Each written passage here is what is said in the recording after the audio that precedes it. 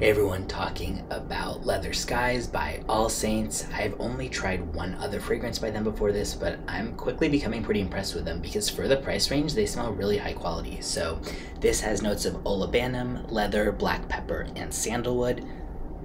And basically, it smells a lot kind of like a smoky sandalwood, but not in a super fiery, really intense apocalyptic smoke type of way, just like lightly tinged. Like olibanum is frankincense, but this isn't hippie incense or anything like that.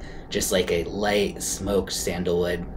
The leather here is really refined. It's not super strong leather at all. This is nothing that's going to be, despite the leather in the name, anything that really is just completely dominated by leather. To me, I get a lot more sandalwood. The black pepper is not super strong either. It just adds like a little bit of a spicy kick.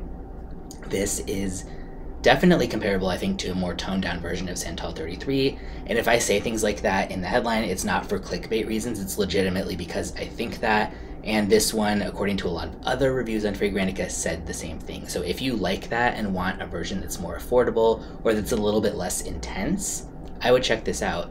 Uh, pretty unisex overall. It might lean a little bit masculine to some, but I think, as with Santal 33, I think overall it's just very unisex. It's marketed that way. Most people on fragrance sites rate it as being unisex. So as long as you like sort of like a, you know, smoky sandalwood type of vibe, this could really be a good one for you. Yeah, it's $60 for 100 mil on FragranceNet after their coupon codes they always have. And that's a really good deal for this. Yeah, for full size, that would last you quite a while. This a little seems to go a long way with this for me. Uh, it's pretty linear. It doesn't change that much from the opening to the dry down, but I think in kind of a good way. Like it's just nice, refined, but not so fancy that it's like overly formal or anything. And I think just a good, yeah, a good scent, especially for like colder weather, probably. Um, I will put a link in the description where you can get a bottle or a sample. And if you like, again, Santal 33 or a big sandalwood fan, especially the more woodsy side of sandalwood,